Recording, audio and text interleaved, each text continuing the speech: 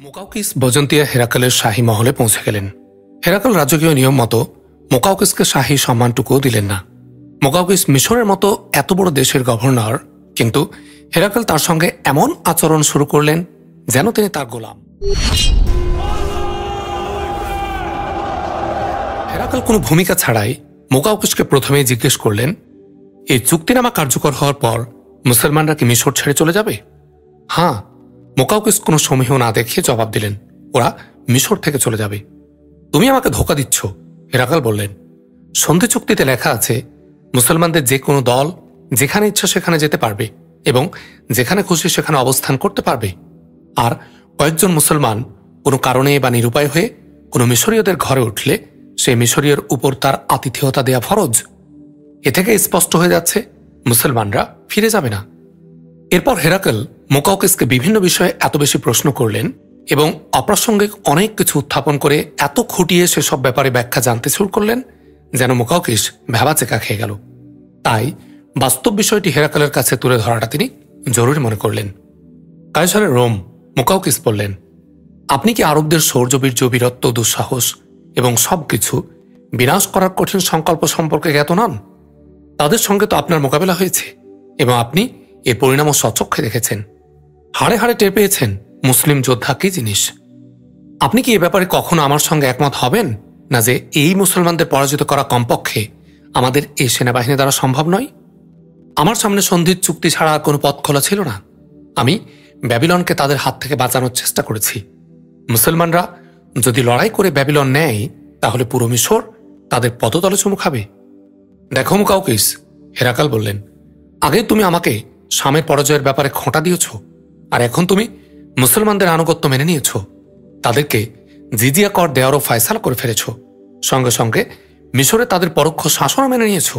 অথচ সেই তুমি আমাকে স্বামীর পরাজয়ের ব্যাপারে খোঁটা দিচ্ছ? মোকাউকিস যে তাকে খোঁটা দিচ্ছে না এবং বিদ্রুপ করছে না এ ব্যাপারে হেরাকেলের এই ধারণা দূর করতে তিনি অনেক কিছুই বললেন। তিনি আরও বললেন, তিনি এক বাস্তবতার বর্ণনা দিয়েছেন। কোনো ধরনের খোঁটা দেয়া তার উদ্দেশ্য নয়। কিন্তু হেরাকাল তার কোনো যুক্তি মানতে রাজি হলেন না। তুমি কি মনে করেছ, আমি মিশর থেকে এত দূরে রয়েছি বলে সেখানকার অবস্থা সম্পর্কে আমি কিছুই জানি না? হেরাকেল বললেন, প্রতিটি মুহূর্তের খবর আমি পেয়ে যাই। মিশরে আমাদের এক লাখ সৈন্য রয়েছে।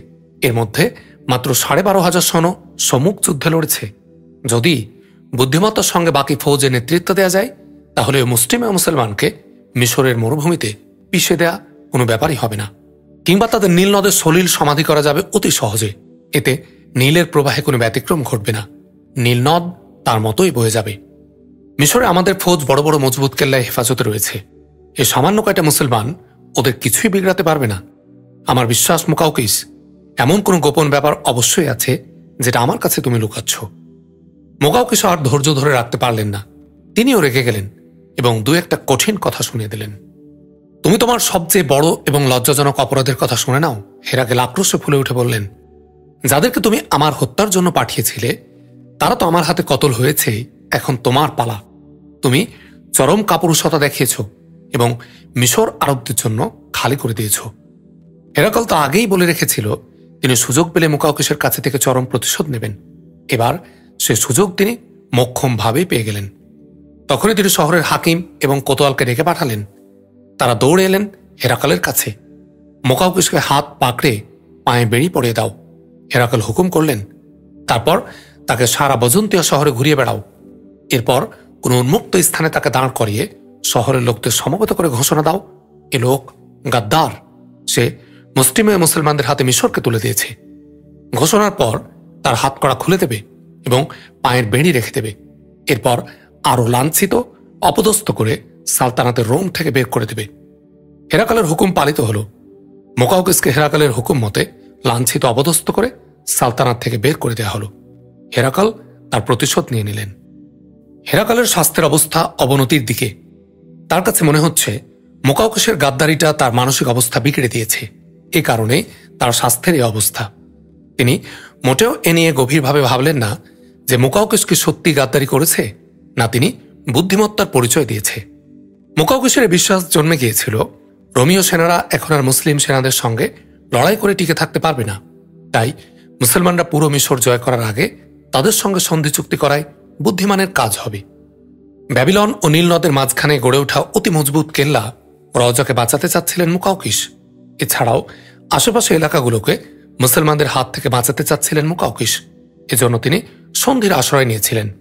কিন্তু হেরাকাল তার এই যুক্তি মোটেও শোনেনি। হেরাকাল তো আসলে মুকাউকিসের কাছ থেকে তাকে হত্যা চেষ্টার প্রতিশোধ নিতে চাচ্ছিলেন। মোকাউকুশের ভাগ্যের ফয়সলা করে হেরাকেল শারীরিক ও মানসিক অবস্থার অবনতি আরও হল। ডাক্তার তাকে দেখে নতুন করে ওষুধ দিল। সেটাও তিনি সেবন শুরু করলেন। হেরাকল সিপাহসালার আমর ইবনে আস রদিয়াল্লাহ আনহুর নামে পয়গাম লেখালেন। তাতে মোকাউকুশের কৃত চুক্তি রহিত করার ঘোষণা ছিল।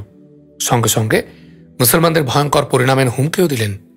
হেরাকালের উদ্দেশ্য হল মুসলমানরা বিনা চুক্তিতে কোনো শর্ত আরোপ না করে যেন মিশর থেকে বেরিয়ে যায়। হেরাকাল পয়গামটি কোনো পত্রবাহককে না দিয়ে পত্রদূতকে দিলেন। নির্দেশ দিলেন খুব দ্রুত ব্যাবিলনে মুসলিম সিবাহশালার কাছে পয়গাম পৌঁছে দিতে।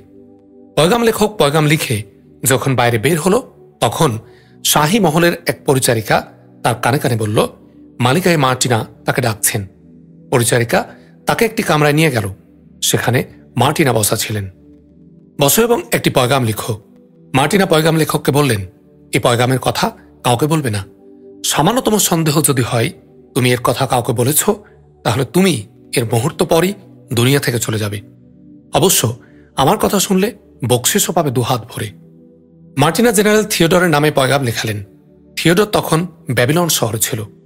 পয়গাম লেখা হলে পয়গাম লেখককে মার্টিনা একটি সোনার টুকরো দিলেন। সোনার টুকরোটি হাতে নিয়ে লোকটি বিস্ময়ে থ হয়ে গেল।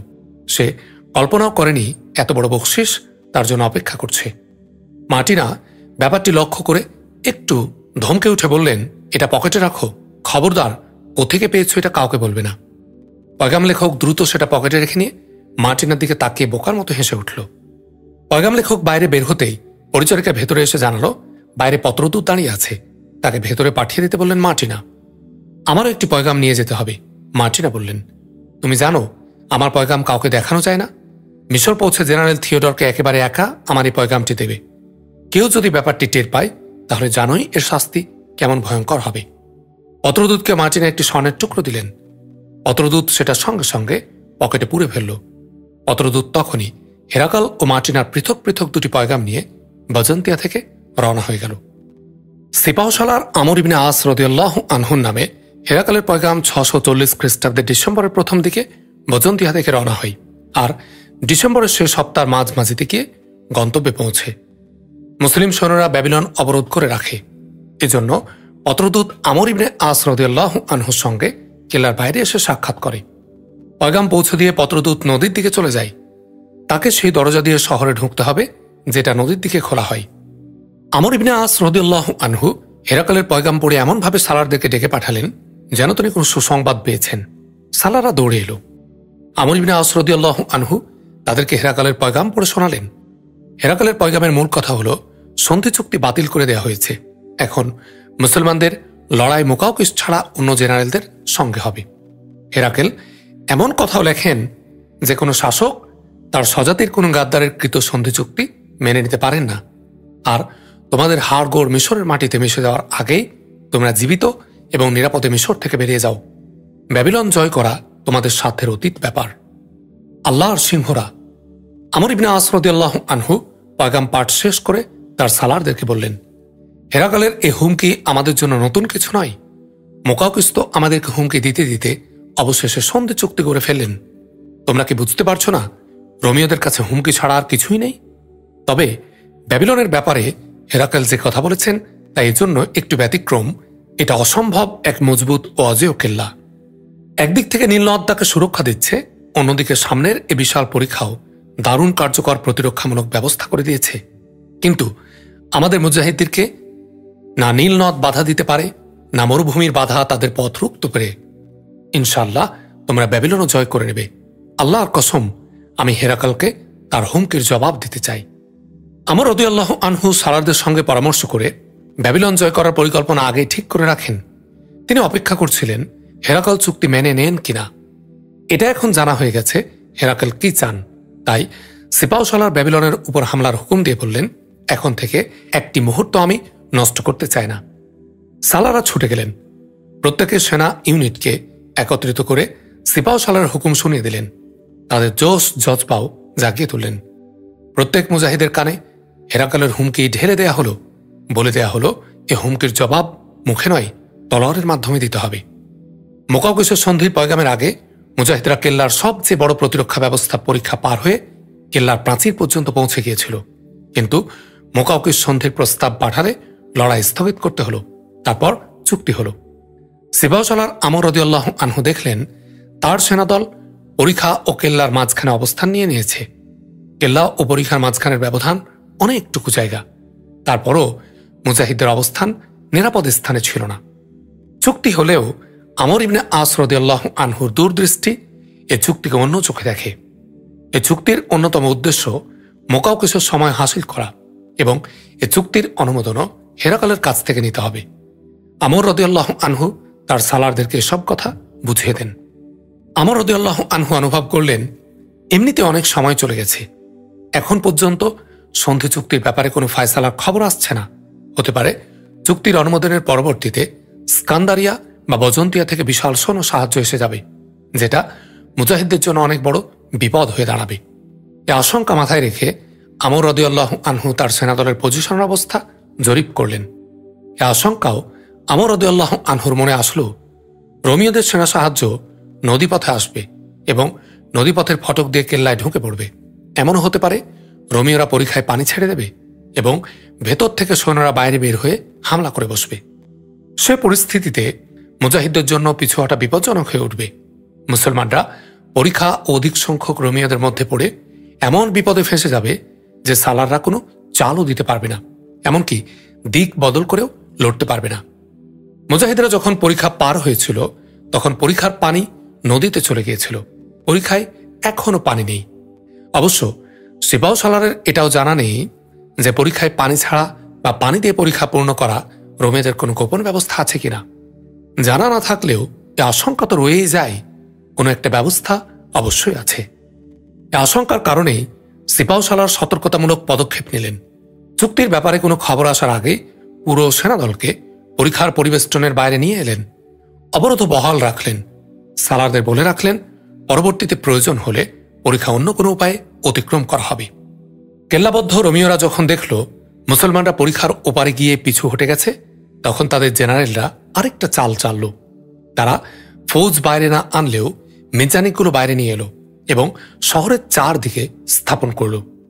এর সঙ্গে সঙ্গে একদল তীরন্দাজ সৈন্য বাইরে চলে গেল। এদের কাজ সামনে বেড়ে হামলা করা নয়, বরং এক জায়গায় পজিশন নিয়ে মুসলিম সেনাদের উপর তীর ছড়া। রোমিয়াদের একটা সুবিধা ছিল এই যে পরীক্ষা ও কেল্লার মাঝখানের বিস্তর জায়গা ফলমূলের বিশাল বাগান। ফলের গাছগুলো বেশ ঘন ঘন করে লাগানো। এগুলো চারদিকে ঝোঁপ ছাড়ের মতো বিস্তার করে আছে।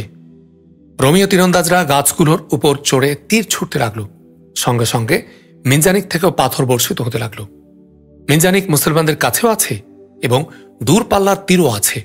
তারা মিনজানিক দিয়ে পাথর বর্ষণের জবাব দিতে লাগল এবং তীরের জবাবে তীর দিয়ে তীর বৃষ্টি শুরু করে দিল। তবে রোমিও তীরন্দাজরা গাছে কাছে পজিশন নেওয়ার কারণে তাদেরকে দেখা যাচ্ছিল না। গাছের আড়াল এবং সুবিধার কারণে রোমিরা অধিক ফায়দা হাসিল করছিল। এজন্য সিপাহসালার তার সেনাদলকে তীর থেকে বাঁচানোর জন্য পিছু হটিয়ে নিয়ে আসলেন। রাতের নিকশ অন্ধকার নেমে এলে স্পষ্ট বোঝা যেত, রোমিওরা পরীক্ষায় কিছু একটা করছে। রাতে যদিও উভয় পক্ষের তীরন্দাজি থেমে যেত, তবুও মুজাহিদের দেখার জন্য সামনে যেত না। কারণ সামান্য সন্দেহ হলে রোমিওরা চরম তীরবৃষ্টি শুরু করে দেবে।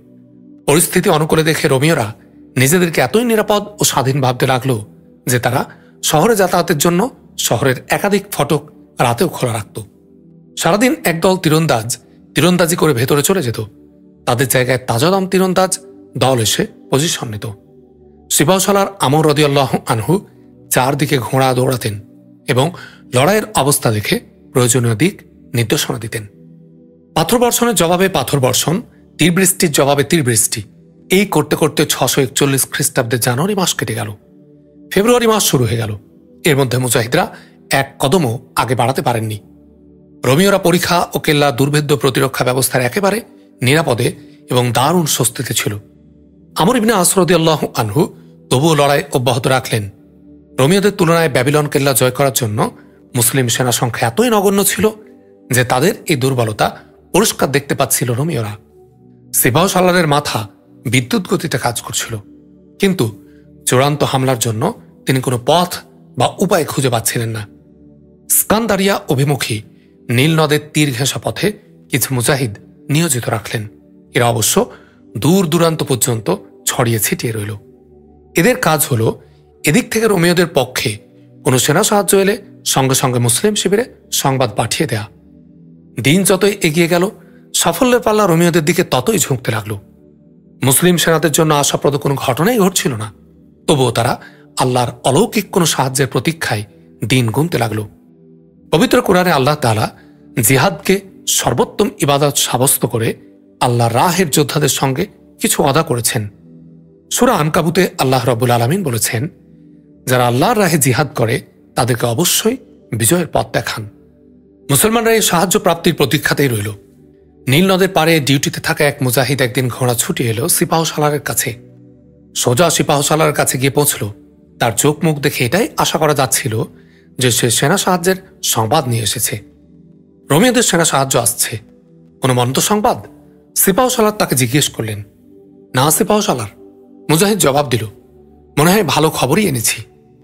একটা খবর হলো, ব্যাবিলনে এমন এক রোগ ছড়িয়ে পড়েছে যে প্রায় সারা শহরের লোক এ রোগে আক্রান্ত হয়ে পড়েছে।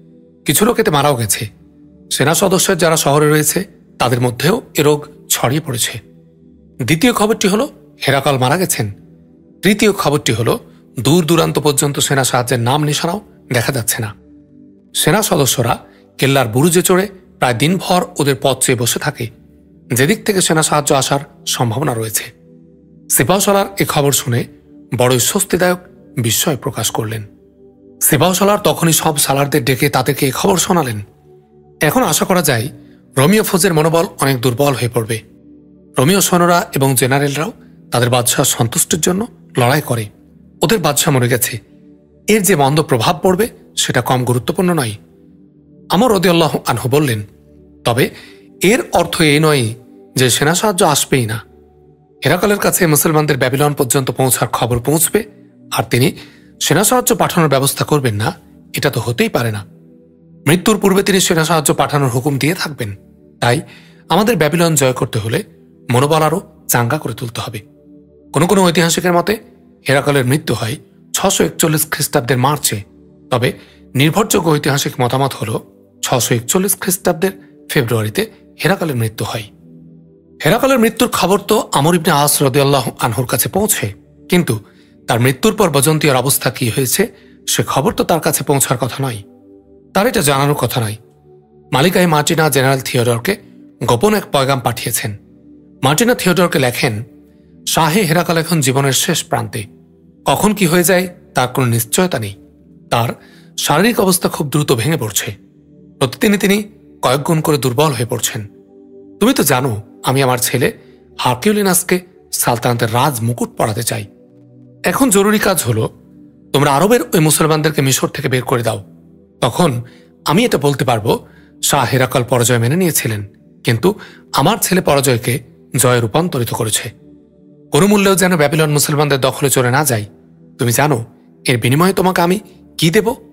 বলার প্রয়োজন নেই। এতটুকু বলছি যে তুমি হয়রান হয়ে যাবে।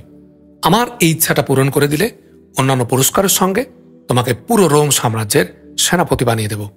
আর মিশরে তুমি মোকাও কিশোর অবস্থানে পৌঁছে যাবে। তুমি হবে মিশরের বাদশাহ। পয়গাম পেয়ে থিয়েটারের মধ্যে অসম্ভব জোশ, জজবা জ্বলে ওঠে। সে তার অধীনস্থ কমান্ডার জেনারেলদেরকে ডেকে তাদেরকে আবেগ উন্মত্ত ভাষায় উস্কে দেয় এবং লড়াইয়ের দৃষ্টিকোণ থেকেও তাদেরকে আক্রমণাত্মক নির্দেশ দেয়।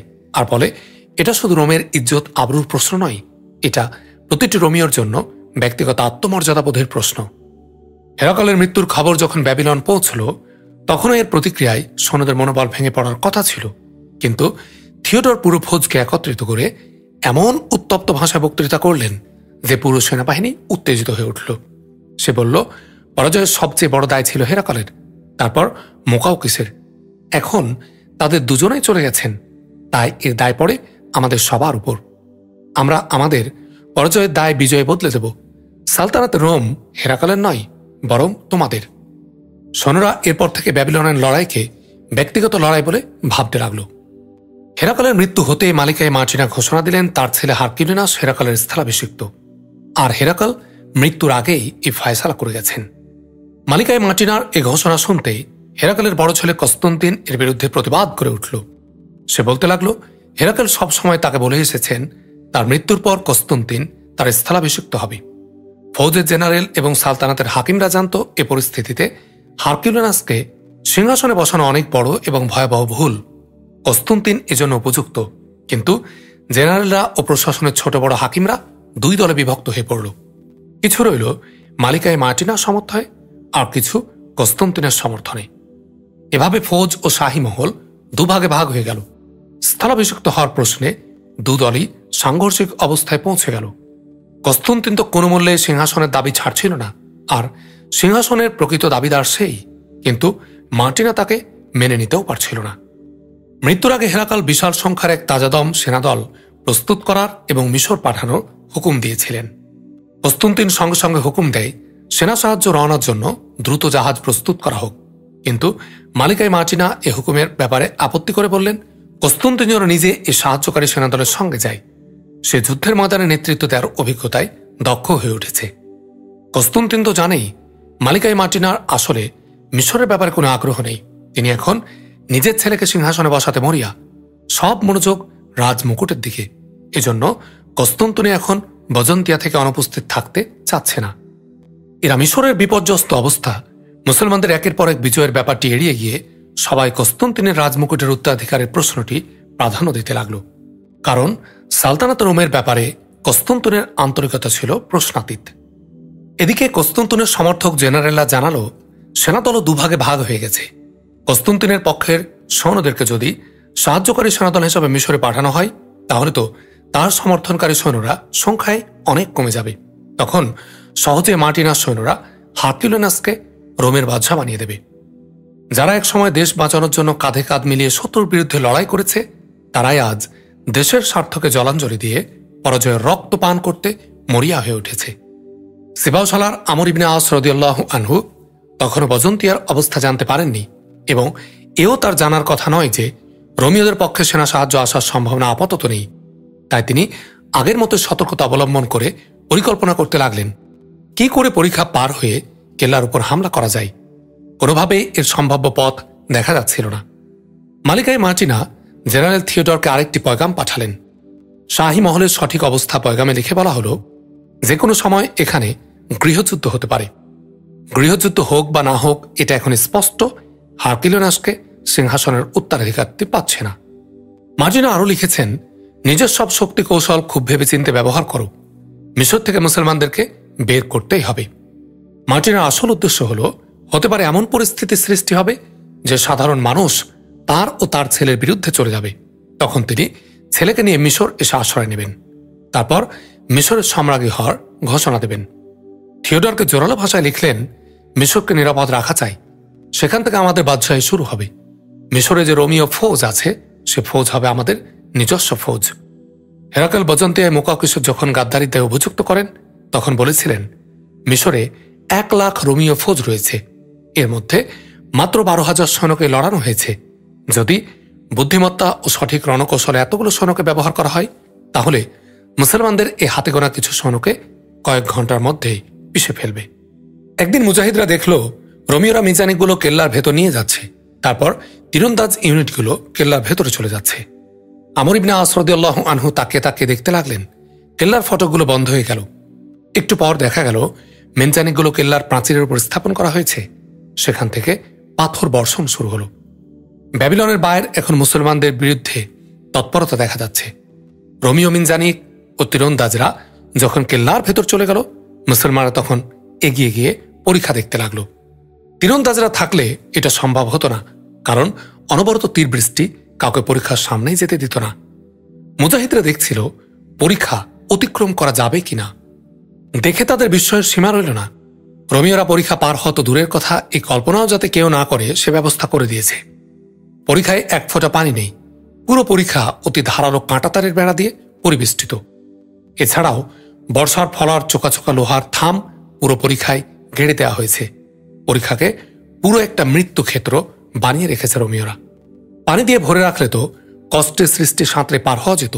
কিন্তু পরীক্ষাকে যে ভয়ঙ্কর করে রেখে গেছে রোমিওরা, কোনো মানুষ তো দূরের কথা, কোনো প্রাণীও তাতে পা ফেলার সাহস করবে না। প্রায় আট মাস কেটে গেছে অবরোধের, তবুও মুজাহিদদের মধ্যে হতাশা বা হীনমনতার কোনো লক্ষণ নেই। কিন্তু সিপাহ সালার ও অন্যান্য সালাদদের অস্থিরতা ক্রমেই বাড়তে লাগল। পরীক্ষা একে তো খুব চওড়া। তারপর এসব অনতিক্রম্য ভয়ঙ্কর সব বাধা পেরিয়ে পার হওয়ার কল্পনাও করা যাচ্ছিল না। তারপরও সবাই যার যার মতো মাথা কাটাচ্ছিলেন। যেভাবেই হোক, পরীক্ষা অতিক্রম করতেই হবে।